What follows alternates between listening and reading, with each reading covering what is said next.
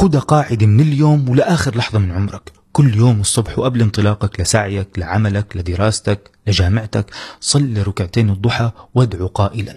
اللهم إن كان رزقنا في السماء فأنزله وإن كان في الأرض فأخرجه وإن كان حراما فطهره وإن كان بعيدا فقربه وإن كان قليلا فكثره وإن كان كثيرا فبارك لنا اللهم فيه. اللهم وإن كان معدوما فكونه. اللهم آتني من خير ما تؤتي به عبادك الصالحين. ووالله ما جرب أحد هذا الدعاء وداوم عليه إلا رأى استجابة الله حقا في يومه خلال سعيه. لذلك داوم على هذا الدعاء لآخر لحظة من عمرك. فرسول الله صلى الله عليه وسلم يقول أحب الأعمال إلى الله أدومها وإن قل وأبشر برزق الله العاجل.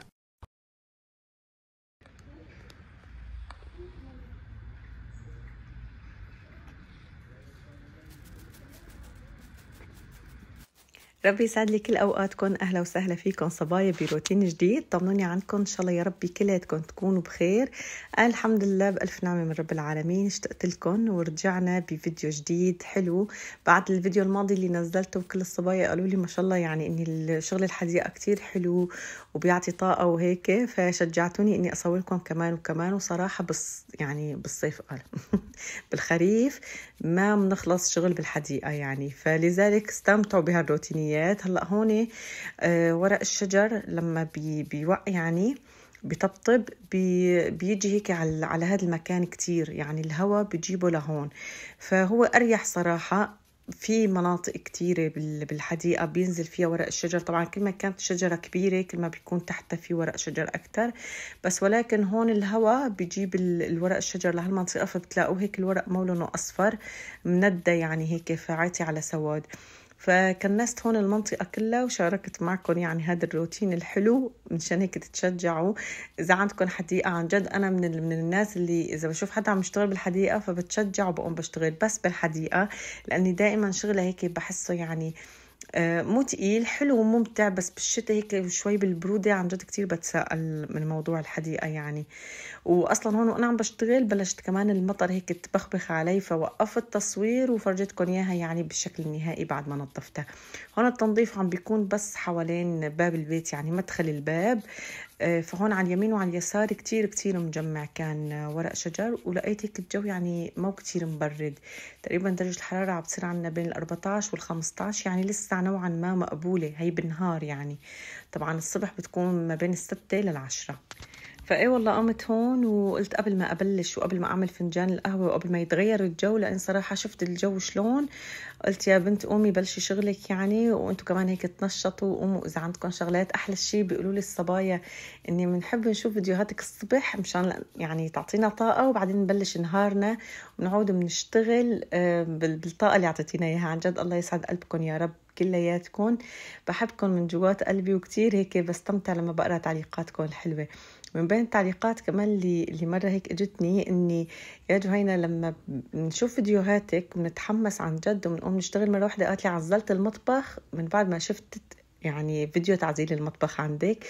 وكمان وحدة قالت لي إني لما بقوم بشتغل عندي أنا في البيت بحس حالي أنا جهينة وعم بشتغل عن جد من ألذ التعليقات اللي عن جد كتير كتير استمتعت فيها. إن شاء الله يا رب هيك دائما أكون عم بعطيكم طاقة حلوة وأحسن أفيدكم. كتير كتير حس بالتقصير عن جد إني ما عاد في طبخات ما عاد في آه، شغلات حلوة هيك يعني على القناة. بس مثل ما بتعرفوا الظروف الحمد لله على كل الأحوال. مين منا ما عنده هم مين منا ما وهيك عنده مشكلة بحياته؟ مين بتلاقوا متزاعي الدنيا هيك ضايقة فيه. الحمد لله على كل الأحوال. شلون آه، كتبت لكم أنا هيك على الصورة يعني شلون تتخطي المشاكل بحياتك؟ صراحة هي المشكلة بالنسبة لإلك عن جد صبايا بتلاقيها كبيرة وبتلاقي هيك الدنيا ما عم تسعك من من الهم وبتحسي هيك في ضيق في صدرك يعني. بس ولكن سبحان الله غيرك بشوفها إن المشكلة لأ ما بدك كل هالهم إنك انت تشيليها وتحمليها أكبر من طاقتها. عن جد يمكن أنا هلأ عم بحكي هاي الجملة انت منك لحالك صبية تذكري. آه، كل بنت تتذكر يعني آه، الهم اللي هي هلأ مثلا فيه سواء كان هم دراسة ولا هم شغل ولا هم بسبب الظروف المادية ولا هم بسبب مشاكل الحياة مشاكلك مثلا مع العالم اللي حواليك أي مشكلة تعرضتي لها أو هيك. شوفي أنت بتشوفي الهم عن جد كتير كتير كبير وكتير موجع بالنسبة لك بس عن جد هو كتير كتير خفيف وسبحان الله الأيام بتأثبت لك هذا الشيء لما أنت بتعدي هاي المرحلة اللي أنت فيها. وبتقولي الحمد لله عدت والحمد لله كانت أموري بخير بس أنا كنت محملة الموضوع أكتر من طاقته. عملت هون فنجاني القهوة الصبح وقعدت على الدرج. شوفوا التواضع يعني. إيه والله قعدت هون على درجات البيت يعني. قلت لا بدي أطالع كراسي واصلا الكراسي كلها مي وهيك. ولبسي هيك هيك يعني خلص أنا طالما اشتغلت بالحديقة فلازم يعني اللبس خلص مباشرة ازته على الغسيل. فحطيت حالي والله وقعدت على الدرج. بعد ما كنست هيك مدخل باب البيت شوفوا النظافة شلون صارت ما احلاها هون بقيان عندي هذا القسم. اللي هو من طرف اليسار يعني. فهلا كمان إن شاء الله وتعالى رح أكنسه. سبحان الله مستحيل حدا من الصبايا يقول لي لا أنا لما بنظف أو لما بكنس أو لما بحوس ما بحس بإني هيك أنا طاقتي تحسنت. عن جد صبايا لما بكون البيت فيه فوضى وكركبة أنا عندي بكل البيت غرفة ولادي دائما بتلاقوها مكركبة. صدقا بالله لما بدخل عليها بتوتر. أحيانا بطنشها بقول معلش أولاد وعي يلعبوا بس عن جد بيعدي علي أيام عن جد بصير بعصب إني من كتر ما فيها فوضى. بقول لهم شلون عم تحسنوا مثلا تقعدوا فيها وهي هيك؟ يا إما بيكونوا مطبقين بزل حاطينه على الزيق ما بصير نخربطه يا إما حاطين آه، مثلا ليجو أو مكعبات أو شيء فبيلعبوا بيتموا عايفينه للألعاب مشان تاني يوم يرجعوا بيكملوا. طبعا في كمان شوية فوضى بنتي روح قلبها تقصقص وتلون فلما بتقصقص ما والله قصيت الورقة بكبها أو هيك لا بتعيفها على المقعد وبتروح مثلا بتلزق وهيك. فعن جد دائما غرفتهم فيها فوضى. أحيانا بقول بدي أصور لكم الفوضى اللي فيها. أصور لكم قد بتاخذ معي وقت. يعني عن جد لما بدخل عليها برتبها بتاخد عن جد كل طاقتي. بس عن جد بعد ما أطلع منها وهيك أشوفها نظيفة هن الاولاد صدقوا بيقوموا بيدخلوا عليها وبيكونوا هيك بقى محافظين على إني ما تتخربط أو ما مثلا تتوسخ. وبيبقوا محافظين عليها هاي يومين تقريبا بس بعدين خلص ترجع بتفلت الأمور. ولما بتكون الغرفة نظيفة بتلاقي بقى بصير عندهم وقت إني لا نقرأ نحن كتاب أو نقعد نلعب بدون ما نخربط. يعني بصيروا هن بيهتموا بتحسوا عن جد طاقة الولد غير. فسبحان الله هيك أنا أحيانا بحوس البيت بقعد هيك بصفن بتفرج عليه بشوف شلون هيك صار نظيف شلون كان وسخ. عن جد مثل عادة هيك يعني الترتيب وال... والنظافة بتعطيكم عن جد طاقة وسعادة. شوفوا لي هلأ الحديقة عن جد كنت لازم أصور لكم شلون كانت قبل وشلون صارت عم تضوي. عن جد كان هون الحصى كلياته لونه أسود من كتر ورق الشجر ما مطبطب عليه. حتى قدام باب البيت طلعت هيك كنست ونظفت ورق الشجر وصارت عن جد يعني مدخل البيت بشهي القلب. لما هيك البيت بترتب عن جد من جوات قلبي بشتهي بس أقعد وأتفرج هيك على مدخل البيت شلون صار نظيف. عبدوي اعطوني رايكم بيعطي طاقة إيجابية. ولا لا بلشت تكنيس من عند شجرة التين من الزاوية. شايفين هون عند طابة ابني. كان هون ورق يعني شجرة التين ورقة كتير كتير كبير. فبلشت تكنيس من الزاوية لعند يعني التساون أو ال السور يلي بيفصل بيننا وبين بيت الجيران. هلأ هون هذا المنظر شوفوا لي بقى. هديك الفيديو هداك الفيديو يعني صورت معكم شلون كنست تحت هاي الشجرة الكبيرة. عن جد شيء يعني بخلي الواحد يزعل. يعني اللي بيشتهي على الحديقات عم يشتهوا عليها عن جد هلا. صح حلوة والقعدة فيها حلوة وهيك بس عن جد بتاخذ تقريبا نص طاقتنا. يعني أنا مثلا بدي وقت بالبيت تقريبا آه، ساعتين ترتيب كمان لازم الحديقة أعطيها ساعتين يوميا من وقتي. وإذا عفت الشغل فأكيد بالعطلة يعني عطلة الأسبوع رح تاخذ كتير من وقتي. اي والله بالشغل. هلأ هون بتعرفوا أنتم وضع المطبخ فأنا يا جبل ما يهزك ريح. قلت والله رح أطلع لبرا ورح أطالع أطبخ برا. فطالعت هون بدي أعمل مكسيكانو. عم بفرجيكم عندي هون كيلو من صدورة الدجاج وعندي فطر وعندي فلفل ملونة وبصل. فرح نبلش هيك نطبخ مع بعض. الدجاج أنا عندي إياه كتير يعني ما رح أعمله كله مكسيكانو رح أعمل مثل الدجاج بكريمة بس ما بدي أحط كريمة بدي أحط بشاميل. يعني عندي بشاميل أو بدي أعمل بشاميل وأحط فيه دجاج وفطر هدول مع بعض طبخة. وبدي أعمل ساندويش مكسيكانو. الدجاج والفطر ما رح يعني ناكله اليوم رح أعيفه لبكرة. رح أطبخ جنبه رز والمكسيكانو رح ناكله اليوم بساندويش يعني لأني هذا بحس أنا حتى قومي يعني المكسيكانو بعمله. ما بحب يزيد والخضرة هيك يعني والفروج حتى الدجاج بغير طعمته رح الفه هون بالخبز ورح أحط عليه كمان جبنة موزاريلا. أنا سبق وشاركت معكم صبايا. طريقة المكسيكانو بس ولكن اليوم لأني ما بعرف هيك سبحان الله لحد الآن ما من وقت الحريق لحد الآن ما طبخت طبخة محرزة مثل ما بقولوا. يعني مشتية هيك أعمل لي طبخة يبرق طبخة كبة طبخة سفرجلية سمائية. فهيك سبحان الله ما يعني لا نفسيا مشتية ولا إني وضع المطبخ بتحمل. فقلت خلص والجو كمان شوفوا هلأ غيمت كتير يعني فإن شاء الله ما تنزل علينا المطر ونحن عم نطبخ. طلعت هون غاز الكهرباء وهدول الكفوف شوفوا مشتريتهم كتير كتير نوعيتهم ما جيدة فحبيت أقلكم أول شي اشتريتهم فيهم كمية البودرة كتيرة.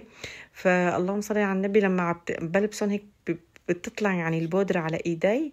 وتاني شي مجرد تشوفوا مع بلبسون فورا بينشقوا بيخربوا يعني مع إني فيهم بودرة مفروض إني يدخلوا بسرعة بس نوعيتهم ما بتمط عرفتوا؟ الكفوف السود نوعيتهم هيك مطاتهم بيكونوا عن جد أكوس وأجود يعني. إيه بس والله هلا في أنا عندي كفوف سود بس عن جد ما عدت أعرف يعني وين أغراضي مثل العاده حتى جوزي عم يسالني أمس على يعني شغلة آه لما صارت الحريق هيك قطعه يعني مشان ما كنت القهوة هيك من بننزل عليها القهوة بعد ما نخلص مثلا عرفتوا؟ يعني لما بيخلص بنكبس فنجان القهوة فالطحن يعني تبع القهوة ما بيطلع فبنخبطه هيك يعني على على خشب صغيرة منشان يطلع.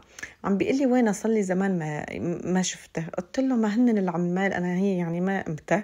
فهن لما إجوا ضبضبوا لي الأغراض بالكراتين وما عدت شفتها. إيه والله فهيك يعني. هلأ بلشت هون أقطع الفلفله الملونة وأقطع البصل وبنرجع هيك لمواضيع الروتين يعني شلون بنتغلب على مشاكل الحياة صراحة. شوفوا كلياتنا مثل ما ذكرت لكم كلياتنا كلياتنا عنا مشاكل كلياتنا عنا هموم. يا إما نحن بنستسلم للوضع اللي نحن فيه يا إما نحن بنقرر إني نطلع من الوضع يلي نحن فيه.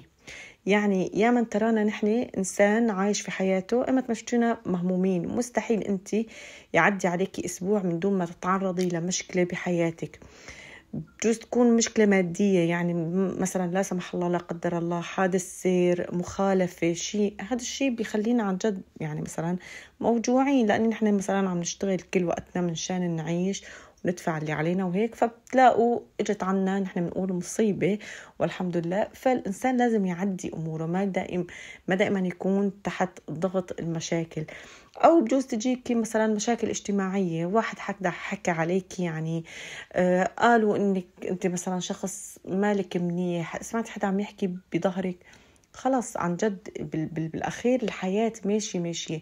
فما تقعدوا أنتوا تحطوا حالكم آه، أو تحطوا نفسكم ضمن دائرة ما تعرفوا تطلعوا منها. هون عم بفرجيكم قطعة الدجاج هيك لازم تكون رفيعة يعني مو لازم لازم. أنا أحيانا بقطعهم مكعبات بس صراحة لما هيك بيكونوا شرايح بتطلع طعمتهم أطيب وبيطلعوا بنفس الوقت يعني هيك يعني إلهم هيك لدعة. لما بقليهم بالزيت بحاول ألدعهم هيك أشقرهم شوي بتطلع عن جد طعمتهم كتير كتير طيبة. صدر الدجاج هيك فيه شوية يعني مكان بتلاقوه هيك رفيع مكان بتلاقوه هيك شوي عريض. مكان العريض هيك عم بحاول أقصه هيك بالطول منشان أطالع كمان قطع نوعا ما تكون رفيعة. فنصيحتي لكم عن جد لكل الصبايا إني عن جد حاولوا هيك تهدوا وتخففوا شوي عن عنكم أو عن نفسكم الضغط. ما تحاولوا تحملوا الأمور أكثر من طاقتها. وما تنسوا إني في رب بالسماء موجود لأني يعطيكم كل شيء بتتمنوه بس إن شاء الله تعالى كل شيء بيكون بوقته. مثل ما ذكرت لكم ببداية الفيديو رح يجي عليكم أيام تتذكروا اللحظات سواء كانت موجعة أو كانت مفرحة أو كانت يعني شيء هم شايلينه أنتوا على كتافكم رح تلاقوه بسيط. ورح تحسوا بهديك الأيام تقولوا نحن قد كنا محملين الموضوع أكبر من طاقته. فهدوا أنتوا هيك عن جد على نفسكم واقرب أقرب شيء أنتوا بت بتكونوا فيه مرتاحين عن جد لما تكونوا قريبين من رب العالمين. حطيت هون زيت واستنيت هيك شوي يحمى وبعدين حطيت آه، البصل والفروج مع بعضهم. بحطهم مع بعض ليش؟ لأني لوقت ما يحمر البصل وأنزل الفروج عم بيكون البصل صار كتير كتير لونه يعني على سواد فشكله ما عم بيكون حلو. فلهذا السبب هيك عملت وهلأ اللهم صل على النبي بعيفهم شوي يلتدعوا وبعدين بحركهم. بحب أحط هيك شوية كركم منشان يعطي صفار لل الجيج. يعني ما بحب يكون هيك لونه أبيض. وصراحة بهارات بحط بس بهار أبيض وهذا صوص صويا يعني أو صوص ماجي إيش بتحبوا تسموه. وبعيفهم هيك بس حسيت الدجاج استوى وعطى اللون اللي بدي إياه. بعود بنزل بقى هون الفطر بحرك تحريكتين برجع بنزل الفليفلة الملونة بعيف هيك ثلاث أربع دقايق شي تدبل يعني شوي وبعدين برجع بحركهم مع بعض. وجهزت طبعا الجبنة والبندورة بحب أنا بقلب الساندويش أحط بندورة بتطلع طعمته كتير كتير طيبة. هلا أول طبخة تقريبا صارت جاهزة تمام؟ هون هيك حسيت إني صوص صويا طعمته ما كتير طالعة واضحة يعني آه، فردت زدت الكمية. ملح ما بحط له لأني صوص الماجي يعني بيكون غالبا آه، مالح يعني عرفتوا فما بحط نهائيا ملح. بعيفه بس على طاق البهار والكركم قلت لكم عشان يعطي لون حلو. واللهم صل على النبي الصوص الماجي. وهلا هيك حركتهم تحريكتين نشفت المي. بتريدوا تحطوا كل كمية الجبنة هون بتريدوا تعملوا هيك مثل ما أنا عملت. بتريدوا ما تحطوها نهائيا تعرفوها بس بقلب الساندويش كله بيطلع طيب. بس كمان إذا حطيتوها هون بتطلع هيك لذيذة. شوفوا المنظر ما أحلى مع الخضار والبرد. عن جد برد برد كان. بس يعني أنا مو عم بشتغل مالي حس بالبرد. بعد ما خلصت آه، تصوير ودخلت لجوا حسيت بقى هون. مثل ما بقولوا يعني بعد ما تخلصي شغل آه، ونحن هيك بتقلنا أمي بعد ما تخلصوا شغل بحلحل تعبكم وبتحسوا بقى بالبرودة. إذا كنا عم نعزل يعني أو كنا عم نغسل أو عم نشطف فسبحان الله واحد اللي عن جد اللي بيشتغل ما بيحس حتى إذا بتنتبهوا بتعودوا إذا لابسين مثلا صوف بتغيروا يعني لأن بتقولوا يعني بتكونوا شوبتوا. إيه فبعد ما تخلصوا حوسه بتقعدوا بتلاقوا البرد كله طلع في جسمكم. هلأ هون بلشت أعمل الصوص البشاميل يعني. أنا هون كنت عم بحكي فوق الفيديو بعدين لقيت هيك لأ صوت الغوشة الجو يعني ما طلعت كتير واضحة وفي هوا لأني كمان كان فالصوت كان كتير عم ياخد ويعطي. فقررت إني أرجع أعيد التسجيل فوق الفيديو يلا ما في مشكلة. هلأ أنا بحب يعني هو قصص البشاميل اني نكون نحن حاطين زبدة. بس الزبدة آه اللهم صل على النبي طعمتها قوية أنا عندي لأني باخذ الزبدة الحيوانية. فبحاول شوي أمددها بزيت النباتي بتطلع طعمته كمان طيبة. لكل تقريبا معلقة زبدة كبيرة بدنا نحمصها لازم تقريبا بمعلقة طحين يعني معلقة طحين عفوا. حكيتها بالعكس. كل معلقة طحين بدها معلقة زبدة. وطبعا يعني كل ما كان الدسم كويس كل ما كان البشاميل عندكم ما عم بكتل. من أسباب فشل البشاميل وتكتيلته إني نحن لما عم نحمصه بتلاقوه هو نحن عم نحمص الطحين مكتل عنا. ما لازم لما نحمص الطحين يكتل. لازم نحمصه يعني براحته مو مثل المامونية. هلأ المامونية مثلا لما نحمص السميد بتلاقوا السميد الحبة مبينة وهيك الطحين لأ ما لازم يكتل نهائيا على بعضه. يعني لازم تكون كمية الدسم كتيرة لحتى ما يكتل. هلأ هون بعد ما أحمصه شوفوا سو يعني سيحنا الزبدة مع السمنة ونزلنا الطحين حسيت أنا هون شوية دسم عندي زيادة لأني حطيت زيت نباتي مثل ما قلت لكم فزودت كمان معلقة طحين. معناتها لكل آه، معلقة من الزبدة الكبيرة معلقة من الطحين بنحمص الطحين بمعلقة من الزبدة وبدها تقريبا كل معلقة طحين كاسة حليب. عرفتوا؟ فأنا هون تقريبا حطيت أربع معالق طحين رح أحط لهم لتر من الحليب. كمان خطوة كتير مهمة مشان البشاميل ما يكتر عندكم. ما لازم تشيلوا الحليب وتحطوه دفعة واحدة. لا لازم نحط شوية حليب ونخلط. يصير عنا القوام هيك شوي سميك. وأحسن أنا أتحكم فيه ولما أنا هلأ مباشرة لما حطيت الحليب كتل عندي. هلأ طبعا أنا لسه ما ضفت الحليب إذا انتبهتوا حطينا بس هون آه، ردينا زودنا كمية الطحين. هلأ شوف شلون لما رح أحط ومن دون عيار يعني ما عم بعير على الكاسة. بس أنا عم بعطيكم العيار من شان إذا هيك حبيتوا إنكم تشتغلوها صح. ويطلع البشاميل قوامه كويس. فيكم تعملوا مثلا هذا العيار اللي اعطيتكم إياه بس أنا شفتوه ما عم بعير. هلا بحط شوي من الحليب مع التحريك ما بكتر كتير. هلا شوفوا مجرد ما حطيت الحليب مثل ما بيقولوا ضرب عندي الطحين مع مع السمنة مع الزبدة لأني عندي الحليب بارد. هلا ببلش أنا هيك بضيف وبحرك بشكل كويس منشان ما يصير ابدا تكتلات. وبس حسيت القوام صار عندي تمام. ببلش بضيف كل كمية الحليب مباشرة. وهيك بيكون تمام. من ثلاث دقايق للخمس دقايق أكثر شيء على نار وسط. رح يتقل عندي البشاميل ويصير تمام؟ التمام في حال أنا هلأ مثل ما قلت لكم أنا طبختي لبكرة يعني ما رح ناكلها اليوم. هو طبعا الأطيب إنكم تعملوا البشاميل وتاكلوها بنفس اليوم. بس ولكن أنا مثل ما قلت لكم عندي طبخة وبنفس الوقت عم بقلي الدجاج وبقليه عم بقلي فطر وقطعت بصل وقطعت فطر فقلت ما بدي أعيفهم لبكرة فطبخت اضطريت. اللي بكره رح يصير رح أشوف إني قوام البشاميل صار عندي ياسميك فيني أمدد بكاسة مي. فيني أمدد بكاسه حليب. عرفتوا؟ أسخنهم على النار وأزيد عليهم يا كاسه مي يا كاسه حليب. هلا هيك لسه القوام آه، مريء يعني لازم أنتظر عليه شوي. وفيني أحط له ال Sahne يعني الكريمه الطبخ بتلاقوها هيك بأناني يعني بالماركت بكل بكل الأماكن Aldi Lidl يعني وين ما رحتوا بتلاقوها أنينة وحدة هي تعادل آه، كاسة. كمان بتطلع طعمتها أطيب يعني كتير كتير بتختلف طعمة البشاميل لما بتحطوا لها كريمة الطبخ ولما بتحطوا لها كمان زبدة طعمتها بتكون طيبة. هلأ البهار لما بنحطه طبعا هون أكيد رح يكتل لأني آه اللهم صل على النبي الحليب سخن.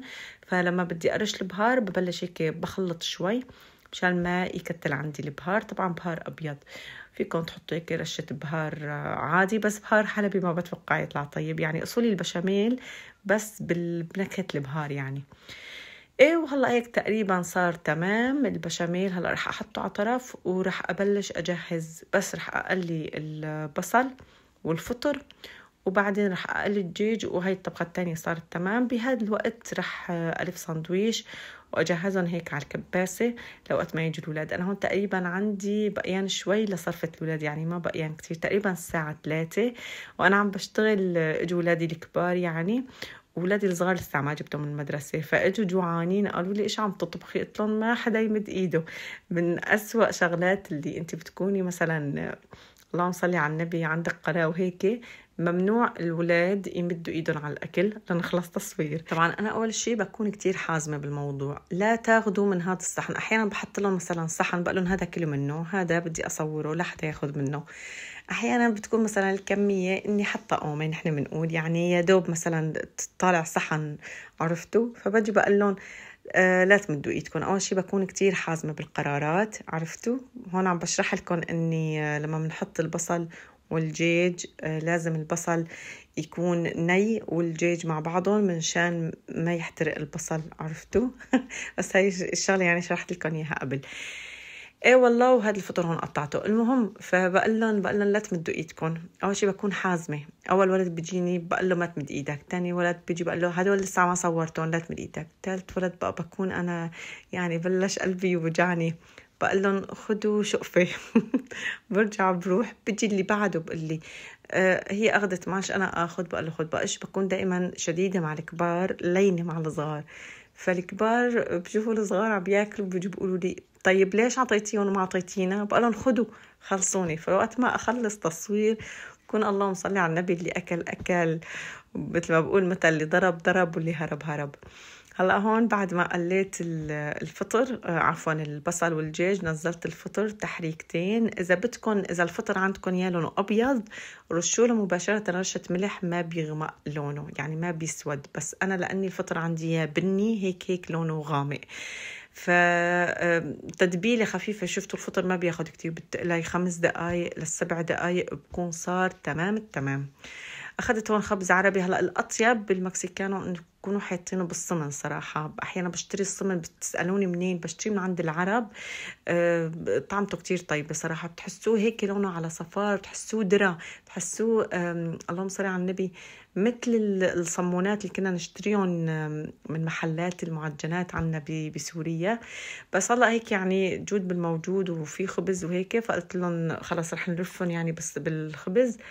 بدهن هون عم بفرجيكم إني الدجاج شوفوا ما محروق بس يعني قلت بجوز الصورة تكون مي واضحة عليكم الفطر عن جد طعمته مثل الكماي ما قطعته هيك قطع آه، رفيعة عرفتوا هيك شوي قطع خشنة. بطلع طعمته أطيب وهيك بقرط هيك تحت سنينكم كتير كتير طعمته طيبة. إيه فهيك عم بفرجيكم انه هون خلصت آه، طبختنا. وهلأ هيك رح أنزل الفطر فوق البشاميل يا عيني. يعني عن جد كتير كتير أكلات البشاميل وهالشغلات طيبة ولو إنه مثل ما قلت لكم مشتية على أكلات يعني هيك دسمة بس تبقى هدول الأكلات بتحسوها سريعة التحضير عن جد وما بتلبك وبنفس الوقت طيبة.